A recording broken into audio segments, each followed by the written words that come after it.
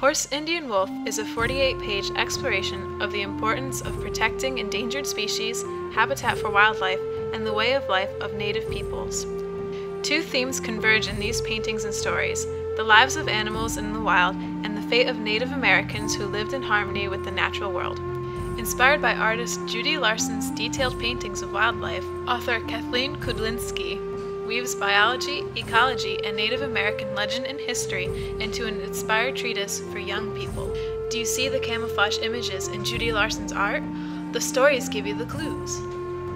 Often the concealed image is of a companion, but sometimes it is of an animal that shares the same fate. For example, the Alaskan wolf and the wild horse, both hunted to near extinction. Other paintings tell Indian legends and stories of great Native American leaders. Stories and secrets surround us. Native people read them on Mother Earth's face. Horses, Indians, and wolves could teach us to see again. Turn back a page. Look again. You saw it, didn't you? The horses sense an eagle overhead.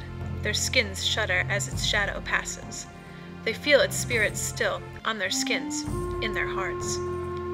Here, five people travel an ancient path.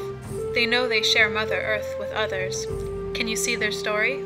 The horses sense danger. Heads high, eyes wide, they snort and prance. The riders feel their fear. They read the woodland signs.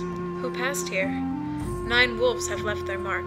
Tracks, fur tufts, sharp scents, and dog-like droppings.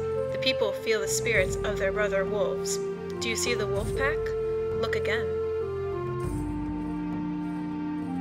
This captivating hardcover book is perfect for ages 7 and up. It makes an impressive and affordable gift at only $16.95. Available at bookstores everywhere and distributed to the trade by Workman Publishing.